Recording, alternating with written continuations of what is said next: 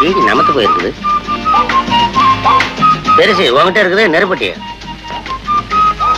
ஒன்னதும் ஈரமா இருக்குது.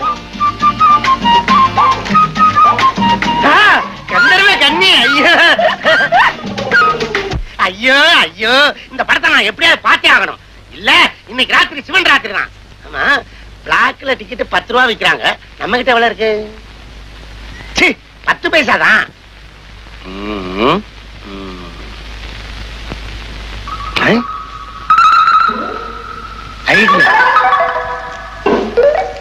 விரிடா விரிடா. இந்த பக்கம் எவனாவது இழிச்சா வராமலா போயிருவான் விரிடா. ஆ, ஒருத்தன் வரான். மாயா தாயே தெய்வமே அங்கிட்ட தெய்வமே தாயே என்ன காப்பாத்தம்மா. என் ஆசையை நிறைவேற்றி வையம்மா. அம்மா. என்ன கல்ல வச்சு கும்பிட்டு இருக்க? கல்லுன்னு சொல்லாதயா கண்ணை வந்து போயிடும். இது மண்ணாத்தா இத கும்பிட்டுட்டு போனா நினைச்ச காரியமெல்லாம் நடக்கும். அப்படியா? பின்ன நம்ம கொளுத்துவேல கோயில்சாமி இருக்கிறானே அவன் இந்த அம்மா தயவால குபேர நாய் கோடி கோடி கூத்தாடி வச்சிட்டு இருக்கிறான். அப்படியா? அத உடையா நம்ம அண்ணக்காவடி ஆறுமுகம் அம்மா தயவால லாத்து சீட்டடிச்சு இன்னைக்கு ஐசால கட்டி கிரிகிரி அண்ணனுக்கு கோழிக்கறி இந்த பக்கத்துல நான் போனேன்னா இந்த அம்மாவை கும்பிடாம போவே மாட்டேன். அதுக்கு தான் பத்து பைசா போடுறேன். நானும் போடுறேன். போடு போடு போடு. அம்மா தாயே. எல்லாரும் போடுங்க எல்லாரும் போடுங்க. போடுங்க. காசு போடுங்க. சாமி தூக்கிட்டு போயிடாதீங்க. ஆ, இருக்கட்டும் சரி முடிச்சு போய் பத்து பைசா போட்டு போறேன் அதை விட மோசம்? அஞ்சு பைசா போடுறானே. இவன் பரவாயில்ல எட்டடா போடுறான் ஏ, கட்டி. யாரும் இல்லையே. அம்மா தாயே உன் பேரை சொல்லி நான் சம்பாதிக்கிறேன். நானும் உன் புள்ள தானே. என் ஆசையை நிறைவேற்றி வைக்கிறது உன் கடமை தானே. என்ன மன்னிச்சிருமா? எட்டரா முக்காருவா ஒண்ணு ஒன்றரை ரெண்டு ரெண்டரை மூணு மூன்றரை நாலு நாலே கால் நாலரை நாலு ரூபா நூத்தியாறு கோழி குருமான்னு சொல்லி இவ்வளவுதான் வந்திருக்குது. பிளாக்ல டிக்கெட் பத்து ரூபா சொல்றாங்க. அஞ்சு ரூபா நாற்பது பைசா வேணுமே. ஏப்பா உனக்கு கண்ணு தெரியல? ஆமாங்க ஐயா எனக்கு ரெண்டு கண்ணும் தெரியாதுய்யா. ஐம் சாரி உண்மையாவே கண்ணு தெரியாதா? ஆமாங்க வேணா பாருங்க. சின்ன வயசுல சினிமா பார்த்து சினிமா பார்த்து இப்படி ஆயிருச்சு. உங்க கையில இருந்தா ஏதாவது கொடுங்க ஐயா. என்னங்க ஐயா காசை கேட்டா காயத்தை கொடுக்குறீங்க? காகிதம் இல்லப்பா பத்து ரூபாய் நோட்டு. அப்படியா ரொம்ப நன்றி. இவன் ஒரு படிச்ச மடையன் பத்து ரூபாய்.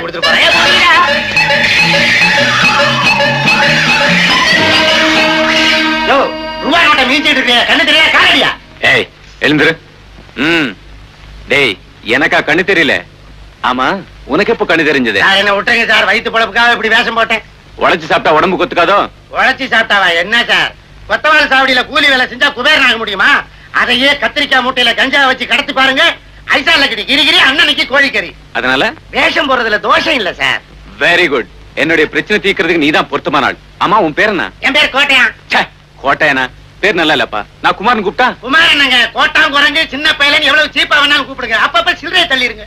சரி பத்து ரூபாய்க்கு நீ குருடன் வேஷம் போட்ட? நாற்பது ரூபா கொடுத்தா நாய் வேஷம் போடுவேன். பேமெண்ட்டை கூட்டிக்கிட்டே போனா பேய் வேஷமே போடுவேன். ஓகே அப்ப நீ புறப்படு. நீ பேய் வேஷம் போட வேண்டாம். பாய் வேஷம் போட்டா போதும். என்ன பாயங்க? காதர் பாயா கரியும் பாயா? இல்லப்பா. பிளே பாய் புறப்படு நீ ஒரு பொண்ண காதல் பண்ற. வீட்ல கல்யாணத்துக்கு வேறொரு பொண்ண ஏற்பாடு பண்ணிட்டாங்க. அதனால பீப்பா தண்ணியில விழுந்த பெரிச்சாளி மாதிரி நீ துடிக்கிற. ஆமாப்பா.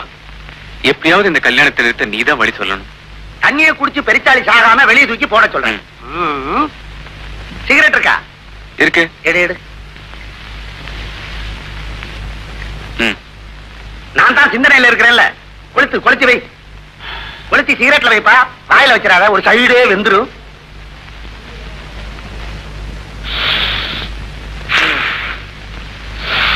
ஏய் ஏதாவது வழி கிடைச்சதா? இன்னும் தலவாதல தட்டுப்படல. அப்புறம் இல்ல வழி. ஆமா பிளாஸ்க்ல என்ன காபியா டீயா? ஹார்லிக்ஸ் எனக்காக. சிந்தனை பண்றது நானு குடிக்கிற நீயா? கப்பலை ஊத்தி கபாலம் விடு. ம். எரிச்சாளி தண்ணியை குடிக்காம இருக்கணும்னா அதை வெளியே தூக்கி போடணும்.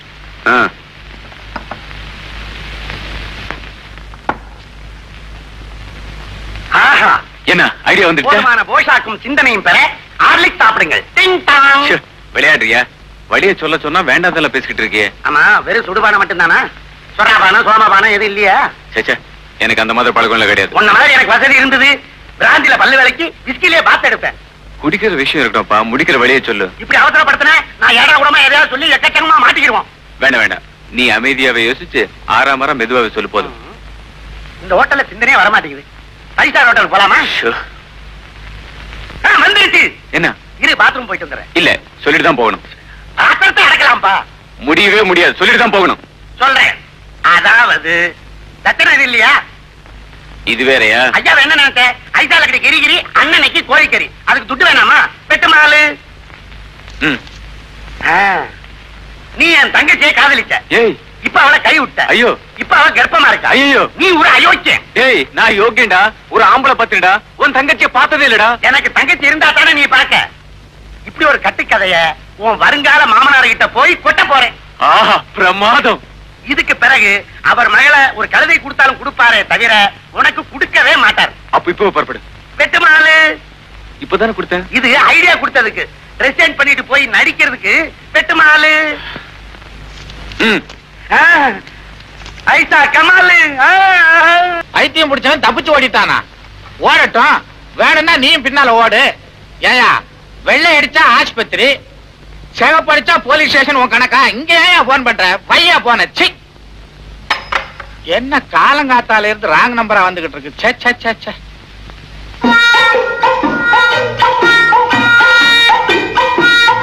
Sir sir. இத்தனை தொப்பியா? தேவைக்கு மேல வச்சிருக்கிறவன் திருடன்னு ஒரு பெரியவர் சொல்லி இருக்கிறாரு அது தொப்பிக்கும் சார்.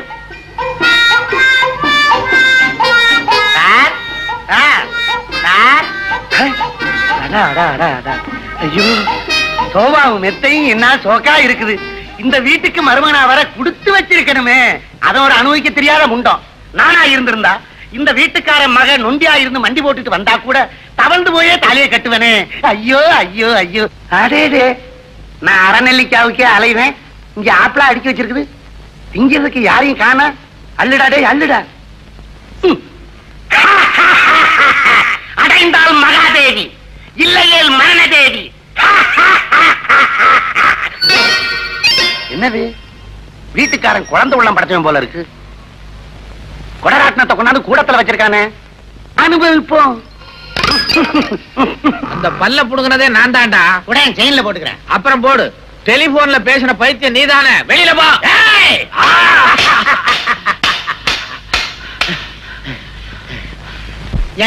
குச்சி உன்ற வயசுல குச்சியா சுத்துற? நான் பானா சுத்த ஆரம்பிச்சா நீ காணா போயிடுவ. இந்த மாதிரி பானா வேணாம் பாவனா வேணாம். அப்ப ஆனா அவனால இருந்து ஆரம்பிக்கலாமா? ஆஹா ஒண்ணும் ஆரம்பிக்காது. பேசியே தீர்த்துக்குவோம். என்னன்ற? நீ பைத்தியம் தானே! யார பார்த்து பைத்தியம்னு சொல்ற? இந்த வேலைக்கார பசங்களுக்கு எல்லாம் அதிகாரம் கொடுத்தாலே இப்படித்தான். உன் முதலாளி என்ன முட்டாளா? அட அறிவட்டவன முண்டம் மூதேவி. நான் தான்டா அந்த முதலாளி. முதலாளியா? உங்க கால் எங்க இருக்குது? கீழே பார். இதோ இருக்குது. நமஸ்காரம் நமஸ்காரம். இந்தா காரம் மனம் குணம் எல்லாம் எனக்கு வேணாம். வந்த விஷயத்த சொல்லு. உங்களுக்கு ஒரு பொண்ணு இருக்குல்ல? ஆமா. அந்த பொண்ணுக்கு கூட மாப்பிளை பாத்தீங்கல்ல பார்த்தேன். அவர் பேர் கூட மகேஷ் தானே? என்னது மருள் வந்த மாதிரி திருள் பண்றான் அந்த மகேஷனுடைய வாழ்க்கையில ஒரு மர்மம் இருக்கு. அத சொல்றதுக்கு தான் நான் இங்க வந்தேன். மர்மமா? அட கர்மமே. உட்காரு.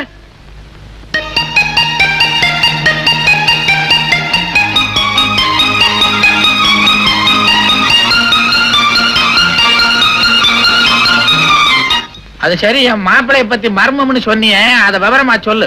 மர்மத்தை என்ன தர்மத்துக்கா சொல்ல முடியும்? என்ன கொஞ்சம் கவனிங்க. உன்னை கவனிக்கணுமா. ஏந்திரிச்சு இப்படி வா.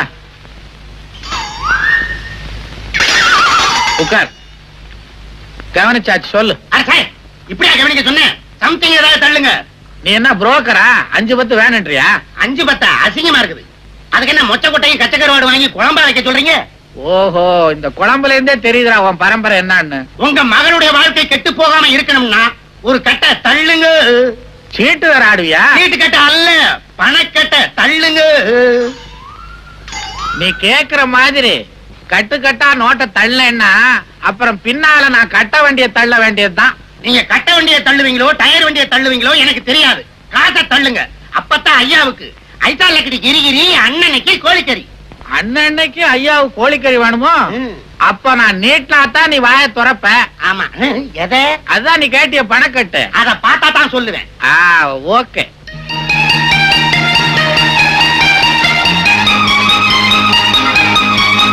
அடா அடா அடா. இந்த கரன்சியோட கவர்ச்சிய பார்த்தா நேர போய் கந்தர்வ கண்ணி ஆயிரம் போஸ்டர் வாங்கி கட்டாந்தரையில விரிச்சு படுத்துற போறேன். அட பாவி என் வயிற்றுல அடிச்சு வாங்கின பணத்தை செவத்துல ஓட்டுற போஸ்டரா வாங்க போறேன் எப்படியோ தொலை விஷயத்த சொல்லு. நீங்க பாத்திருக்கிற மாப்பிள சுத்த அயோக்கியன். யார பாத்தா என் மாப்பிள்ளை அயோக்கியன்னு சொல்ற?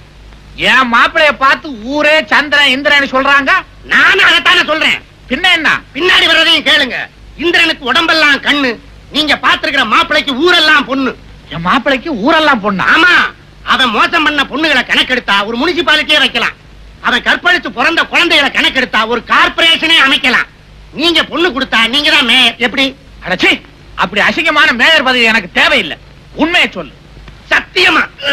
எங்க தலைய காண? டேய் போஸ்டர்! என் லைஃபை கெட்டுறாதடா டேய் போஸ்டர்! என்ன போஸ்டர்னு ஒருத்தன் கத்துறான் நீ போஸ்டர் ஓட்டுறவனா? என் பேரு அது இல்ல சார். அரே கோணையா இருக்கும். ஹேரோ அரே அந்த நீ தொடங்கி. அரே கோணையா இருக்கு. ஆ, அரே கோணையா ஆ அடே அடே அடே, அடே. ஐயே சீ என்ன சட்டியோட வந்து நிக்கிறா? இது கூட இல்லைன்னு ரொமான்சிக்கமா இருக்கும் சார். ஆமையா அந்த இடத்துக்கு போவானே. எனக்கு வேற வேலை இல்லையா? யாரா நீ? சொல்ல வந்தேன் முடியாதுப்பா சொன்னா கேளுப்பா. விடுப்பா என்ன அங்க கூட்டிட்டு போறான்? சட்டி அவுப்பானா? Poster please சொல்லாதடா. இந்த விஷயத்த சொல்லாம இருக்கணும்னா ஆயிரம் ரூபாய் கொடு. அட பாவி. என்ன பாவிங்கிற? ஆயிரத்தி ஐநூறு. இது அநியாயம். எது அநியாயம்? ரெண்டாயிரம். நீ உருப்பட மாட்டேன். என்னையா உருப்பட மாட்டேன்னு சொல்ற? மூவாயிரம். மூவாயிரமா? நல்லா யோசனை பண்ணு. ஒரு தரம் ரெண்டு தரம். பெனாதி பசங்களா? இது என்ன வீடு நினைச்சுங்களா ஏழை கடை நினைச்சுங்களா ஆயிரம் ஆயிரத்தி ஐநூறு ரெண்டாயிரம் ஏத்திக்கிட்டே போறீங்களே. சம்திங் ராங் போலீஸுக்கு போன் பண்ணி உங்களை உள்ள தள்ளல? மாமா மாமா வேண்டாம் யாரா மாமா? ஆமா தயவு செய்து நான் சொல்றது கேளுங்க. நீங்க பாத்திருக்கிற மாப்பிள்ளை மகேஷ். கல்யாணி தான் உங்க பொண்ணுன்னு தெரியாம இந்த கல்யாணத்தை நிறுத்துறதுக்காக பிளான் பண்ணி இவனை அனுப்பிச்சேன். பாவி இது தெரியாம முள்ளைக்கு பத்த மாதிரி ஆயிரம் ரூபாய் நோட்டை வேட்ட கொடுத்துட்டேன் குடுறா. முடியாது. ஐசால கறி கிரி கிரி அண்ணனைக்கு கோழிக்கறி. போய் அறுத்துற மாட்டேன். கோழியை அறுக்க போற என் கழுத்தை எல்லாம் அறுக்க போற. சரி பணம் போனாலும் போகட்டும். மாப்பிள்ளை வந்து சேர்ந்து அதுவே போதும். வா. மனசு மாறுறதுக்குள்ள மாமனார் காலில் விழுந்து ஆசீர்வாதம் வாங்கு. சும்மி கூர்ல விழுந்த மாதிரி விழுகுறான்? என் பொண்ணு வேலை எப்படித்தான் விழுவானோ? பெரியவங்க கிட்ட எல்லாம் போய் ஆசீர்வாதம் வாங்கிக்கோங்க.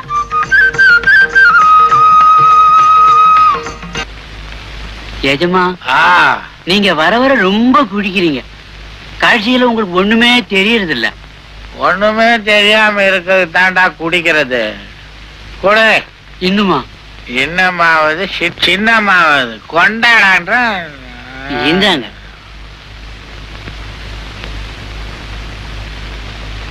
எங்கடா கிளாஸே காணோம்? கொடுத்தாங்க நீங்க தாங்க உங்க கையெடுத்து வாயில வச்சுக்கிட்டீங்க. கிளாஸ் உன் கையில இருக்கா? ஆமாங்க. அடப்பாவி.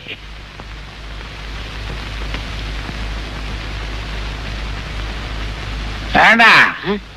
எங்க ஊத்தி இருக்கிற நீங்க குடிச்சிட்டீங்க. குடிச்சிட்டானா. அதே எனக்கு தெரியல. ஊத்துறா. ஏங்க. யாருங்க? அம்மா. எந்த அம்மா அம்மா. அம்மா எங்க அம்மா எப்பவோ செத்து போட்டாங்களே? ஏயா இன்னும் எத்தனை நாளைக்கு தான் நம்ம இந்த தண்டவாளம் மாதிரி பிரிஞ்சே இருக்கிறது? ஆமா இப்பவே மூணு மாசம் ஆச்சு. என்னது? மடியில படுத்ததுக்கே மூணு மாசம்னா மத்த கதையெல்லாம் இருக்குது. அட ஏயா நீ ஒண்ணு. நாம காதலிக்க ஆரம்பிச்சு மூணு மாசம் ஆச்சுங்கிற கணக்க சொன்னா? அதையா சொன்னேன் எதையும் கொஞ்சம் விவரமா சொல்லடி. காலம் கெட்டு கிடக்குது. காலையில கவர்மெண்ட் ஆஸ்பத்திரி முன்னாடி ஒரே அடிதடி. அடிதடியா? பிறந்திருக்கிற குழந்தைக்கு கையும் காலும் அம்மா மாதிரி இருக்குதா? ம். கழுத்துக்கு மேல அடுத்த வீட்டுக்கார மாதிரி இருக்குதா? குழந்தைக்கு யாரு தகப்பேன்னு குடுமி பிடி சண்டை. அப்புறம்? சமாதானம் பண்ணலாம்னு விலகிட்டு போய் குழந்தைய பார்த்தா. அந்த அயோக்கிய பய உள்ள இடுப்புக்கு மேல என்ன மாதிரியே இருக்குது? ஐயோ அப்புறம்? அப்புறம் வாழ இருந்த பட்ட மாதிரி விட்டா போதும் ஓடியாந்துட்டேன் அத விடையா முதல்ல நம்ம கல்யாணம் எப்போ? அத சொல்லு. அட ஏண்டி கல்யாணம் கல்யாணம்னு பறக்குற. செக்கு மாடு நுழத்தடிக்கு கழுத்தை நீட்டி தலையிற மாதிரி.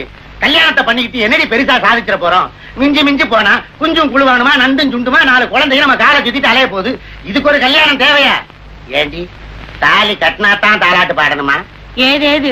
பேசி பேசியே என்ன பிரசவ ஆஸ்பத்திரிக்கு அனுப்பிச்சிடுங்க போல இருக்க. அடியே ஒரு விஷயம் சொல்ல மறந்துட்டேனே. நாலு நாளைக்கு முன்னால உங்க அப்பனை கடத்தரவுல பார்த்தேன். அவனடி இப்பவோ அப்பவோ நலையறான் ஒருத்தன் தும்மல் போட்டான் இவன் தூர போய் விழுந்துட்டான். யாவ் என்ன கிண்டலா? பின்ன என்னடி? தேவாங்க ஜிப்பா தச்சு போட்ட மாதிரி இவன் நாளுக்கு நாள் உள்ளே போயிட்டு இருக்கான் தேர மாட்டான் போல இருக்குதே. அது ஏன் கேக்குற? மனவியாதியோ பெரிய தேவதாசு காதல் பிரிவு தாங்க மாட்டாம காப்பில போட்ட கருப்பு வெட்டு மாதிரி கரைஞ்சுக்கிட்டே போறாரு? இல்லையா அவர் எங்க அம்மா செத்து போனதுல இருந்து ஒரு மாதிரி ஆயிட்டாரு. மாதிரி என்ன? மாதிரினா அவர் எப்ப பார்த்தாலும் ரூமுக்குள்ள போய் கதவை சாத்திக்கிட்டு எங்க அம்மா படவை எடுத்து வச்சுக்கிட்டு வச்சு. காமாட்சி இந்த நீலப்படை பார்க்கும்போது நீ பாடுற நீலாம்பரி ராகம் தான் ஞாபகத்துக்கு வருது. காமாட்சி காம்போதில சஜ்ஜமத்தை பிடிச்சு நீ உதற நான் பதற நான் பதற நீ உதற. காமாட்சி. அப்படியா? உங்க அம்மா நினைப்புலயே உங்க அப்பனுக்கு மழை கண்டு போச்சு. சரோஜா நாம ரெண்டு பேரும் ஒண்ணு சேர்றதுக்கு அடிச்சது யோகம். என்னையா சொல்ற? நேர வீட்டுக்கு போய் உங்க அப்பன் கிட்ட ம். அம்மன் கோயிலுக்கு பக்கத்துல ஜோலார்பேட்டை ஜோசியம் வந்திருக்கிறான். ம். அவன் கிட்ட போனீங்கன்னா உங்க மனக்கவலை எல்லாம் தீரும்னு சொல்லி அங்க அனுப்பிச்சு வை. மத்தத நான் பாத்துக்கிறேன். சரியா. பள்ளிமலையிலே கோயில் கொண்டவன். பள்ளிமலையிலே மாமனானவன். ஏழு குண்டல ராரா இக்க ராரா நைனா. கோவிந்தா கோவிந்தா. என்னடா அது? இப்பதான் உட்காந்து அதுக்குள்ள ஒண்ணு விழுந்துச்சா ஏங்க? நீங்க தானே ஜோலார்பேட்டை ஜோசியர்? உங்களுக்கு எல்லாம் அறிவே கிடையாது. ஆளாளுக்கு சொல்லிட்டு இருக்க முடியாதுன்னு தானே நெத்தியில எழுதி ஒட்ட வச்சிருக்கிறேன். படிச்சு பாத்துக்கோ எனக்கு தூரத்து பார்வை சரியா தெரியாது. அப்ப நானே கிட்ட வரேன் படிச்சுக்கோ ஜோலார்பேட்டை ஜோசியர். என் மகன் சரோஜா உங்களை பத்தி நிறைய சொல்லியிருக்கா ஆடாடாடா. உங்களை தேடி கோயிலுக்கு போனேன் குளத்துக்கு போனேன். ஆனா நீங்க என்னன்னா இங்க ஊஞ்சல உட்காந்துக்கிட்டு ஆடிக்கிட்டு இருக்கிறீங்க. இந்த உலகமே ஆடும் போது நான் மட்டும் ஆடினால் என்னப்பா தப்பு? தனியா தானே ஆடுறேன். அதுல ஒண்ணும் தப்பு இல்லைங்க. சுவாமி நீங்க பெரிய மகா. என்னை ஆசீர்வாதம் பண்ணுங்கள் சுவாமி. சி, கிட்ட நாத்தம் வருது. என்ன நாட்டம் பொண்ண வாட வருதியா? குணவாடியா கோச்சிக்காங்க சாமி குளிச்சு நாலு நாள் ஆச்சு. என் வீட்டு தண்ணி வரல. தண்ணியாவது தைலமாவது. உன் உடம்புல இருந்து வர்ற வாடைய சொல்லல. உன் குடும்பத்துல இருந்து வர்ற பொண்ண வாடைய சொல்றேன். குணவாடியா ஆமா. ஒரு வருஷத்துக்குள்ளர உன் குடும்பத்துல ஒன்னானப்பட்ட ஒரு ஜீவன் படக்குன்னு போயிருக்கணுமே. ஆமாங்க. அது உனக்கு நெருங்கின சொந்தம். ஆமாங்க. சுத்தி வளைக்காம சொல்ற அது உனக்கு பொண்டாட்டி. ஆமாங்க. பேரு காமாட்சி. ஆமாங்க. அங்க புடி அங்க புடி. எங்க பிடிக்க? எங்கேயாவது புடி. ஏழு குண்டல வாடா. ஏமரா செத்தாவு? அழகா யோ உன் பொண்டாட்டி சொர்க்கத்துக்கே போல ஏங்க வழியில ஆக்சிடென்ட் ஆயிடுச்சா? தண்டவாளம் பேத்துக்குச்சு அட யாரையா நீ? உன் பொண்டாட்டி யாரு இங்கதான் இருக்குது? இங்கயா? இங்க இல்லையா? ஊருக்குள்ள இருக்கியா? ஊருக்குள்ளயா? குதிரையா பிறந்து கொல்லியும் புள்ளியும் தின்னிட்டு அலையுது. குதிரையாவா? பின்ன பொண்டாட்டி இருக்கிற லட்சணத்துக்கு குதிரையா பிறக்காம கோயில் யானையாவா பிறப்பா? கோச்சிக்காதுங்க என் பொண்டாட்டி உயிரோட இருந்தபோது குதிரை மேல ரொம்ப ஆசைங்க. அப்புறம் எப்படி ஒன்ன கட்டிக்கிட்டா? இல்லைங்க ஊட்டிக்கு வந்தபோது குதிரை மேல ஏறி ஊரை சுத்தி பார்க்கணும்னு ஆசைப்பட்டா. பாய் நான் தான் ஆசையை நிறைவேற்றி வைக்கல ஏங்க இப்ப அவன் எங்க எங்க இருக்கிறா? வாயத்தர எதுக்குங்க? குதிரைய தேடணும். வாயிலையா தெரியும். அட கிருஷ்ண பரமாத்மா வாயில உலகமே தெரிஞ்சிருக்குது. உன் வாயில ஓரத்துல உன் பொண்டாட்டி குதிரை தெரியப்படாதா? ஆ, என்னையா அது? மத்தியானம் சாப்பிடும் போது முருங்காய முழுசா முழுங்கிட்டியா? பாதி நீட்டிட்டு நிக்குது. பரவாயில்ல தர. தெரியுது. பிடிச்சிட்டேன். எங்க இருக்க? இங்க வா. வர்ற பௌர்ணமி அன்னைக்கு கோயில். அதுக்கு பக்கத்துல அத்திமரம். அதுக்கு கீழே சாம்பல் நிற குதிரை நிக்கும். அன்னைக்கு போய் புடிச்சுக்கோ. போ. அத்தி மரம் இந்த இங்க வா. தட்சணையை கொடு. இல்லன்னா குதிரையை பத்தி விட்டுருவேன். போ. அத்தி மரம் கோயிலு காமாட்சி. ஒரு மாதிரியா இவனை சமாளிச்சாச்சு. சாம்பல் நிற குதிரைன்னு வேற சொல்லிட்டோம். சரி தேடுவோம்.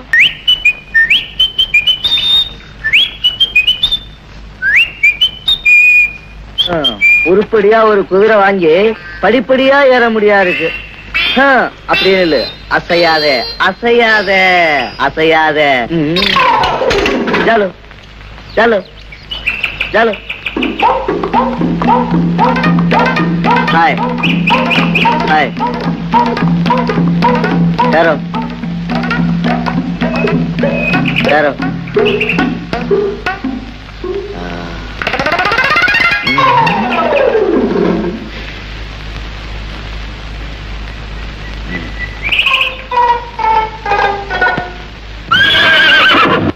இதேதான்.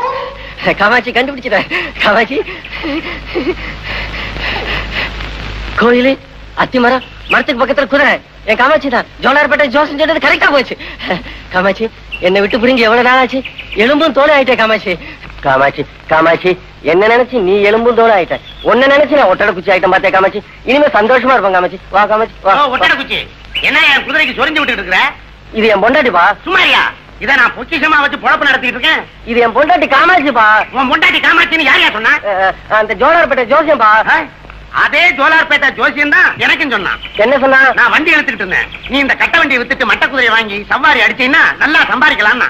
இந்த குதிரை வந்ததுல இருந்து காசா கொட்டுது. வீடு கட்ட ஆரம்பிச்சு ஜன்னல் வரைக்கும் எழுப்பிட்டேன். பாக்கி எழுப்புறதுக்குள்ள குதிரையை எடுத்துட்டு போறேங்கிறிய. எங்க குடும்பத்தை பிரிச்சாதப்பா ஆனா சும்மாரியா இந்த குதிரையை வச்சு தினம் அஞ்சு பத்து சம்பாதிக்கிறேன். இனிமே எப்படி? உனக்கு அதுக்கு மேல நான் மறந்துடுவா? நான் வர்றத பத்தி ஒண்ணு இல்லையா? நான் இல்லாம இந்த குதிரை இருக்காது. அப்ப நீயும் உன் என் வீட்டுக்கு வந்துடு. நான் வர்றத பத்தி இல்லையா? ஆனா சில கண்டிஷன் என்ன? என் குதிரைக்கு காலையில அல்வா கொடுக்கணும் சாயந்தரம் கொள்ளு கொடுக்கணும். எனக்கு காலையில கொள்ளு கொடுக்கணும் சாயந்தரம் அல்வா கொடுக்கணும். நானும் அப்ப அப்ப உன் வீட்டுக்கு வந்து அல்வா கொடுப்பேன்? குதிரைக்குயா. ஆமா. நான் வர்றதுனால உங்க குடும்பத்துல எந்த இடைஞ்சலும் இல்லையே. எனக்கு ஒண்ணும் இடைஞ்சலப்பா ஆனா ஒரு வயசு பொண்ணு இருக்குது. வயசு பொண்ணு இருக்கிற வீட்டுக்கு நான் வந்தேன்னா எனக்கு கெட்ட பேர் வரும் நான் மாட்டேன். அத பத்தி நானே கண்டுக்கல. எனக்கு என் பொண்டாட்டி தான் முக்கியம். உனக்கு உன் பொண்டாட்டி முக்கியம் அதே மாதிரி எனக்கு. உனக்கு? என் குதிரைதாயா முக்கியம். காமாட்சி வா. காமாட்சி. மெதுவா வா காமாட்சி. வா வா காமாட்சி. வீட்டுக்காரர் கூப்பிடாரு ஏங்க நமக்கு குடும்பம்னு வந்துட்டா நீங்க எப்படிங்க சம்பாதிக்க போறீங்க? அரே என்னடி? சாஸ்திரம் பண்ண வேண்டிய நேரத்துல வந்து சம்பாத்தியத்தை பத்தி பேசிட்டு இருக்கிற. பாடி கட்டிலுக்கு போய் தொட்டிலுக்கு ஏற்பாடு பண்ணலாம். அடியே நமக்கு முதல் முதல்ல புள்ள பிறந்தா யாரு பேர் வைக்கலாம்? எங்க அப்பா பேர் தான் வைக்கணும். உங்க அப்பன். அந்த தேராங்க பைய பேரை வச்சா புள்ள ம். எங்க தாத்தா பேர் வச்சிடலாம். அவர்தான் பதினாறும் பெத்து பெருவாழ்வு வாழ்ந்திருக்கு ஐயோ பதினாறா? வெத்தா என்னடி? தெருவு கொண்டா விடுவோம். திறமை இருந்தா சம்பாதிச்சு பயலே. ஐயோ ஏண்டா அயோக்க பயல? ஒரு பிச்சைக்கார கும்பலே உண்டாக்கணும் வீட்டுக்கு வந்திருக்கேன் கவலைப்படாதீங்க. பிச்சைக்கார மறுவாழ்வு நிதி திரட்டி ஒரு பெரிய பங்களாவே கட்டி தரேன் வருத்தப்படாதீங்க மாமா. மாமா யாரா? அதான் மாமா வைக்கிற பாவி. டேய் குதிரையோட வந்து குடும்பமா நடத்துற நீ. பேசாதயா. இதுக்கு தான் நான் அன்னைக்கே கேட்டேன். நான் உன் வீட்டுக்கு வரனால எந்த வித இடத்துல இருக்காதேன்னு. அதுக்கு நீ என்ன சொன்ன? நான் எதையும் கண்டுக்க மாட்டேன்னு சொல்லிட்டு நீ கழுத்த கழுத்த நீட்டுறிய என்ன அதெல்லாம் அன்னைக்கேதான் அவசரத்தை சொன்னேன். நீ இப்படி என் பொண்ணை கொஞ்சம் கேட்டனா மரியாதையா சொல்றேன். டேய் உள்ள போனதை பத்தி இல்ல. பின்னாடி நீ வருத்தப்படுவ. வருத்தமான ஒண்ணாது போடா இல்ல. நான் ஒண்ணு சும்மா போக மாட்டேன். நான் குதிரையை தள்ளிட்டு போறேன்.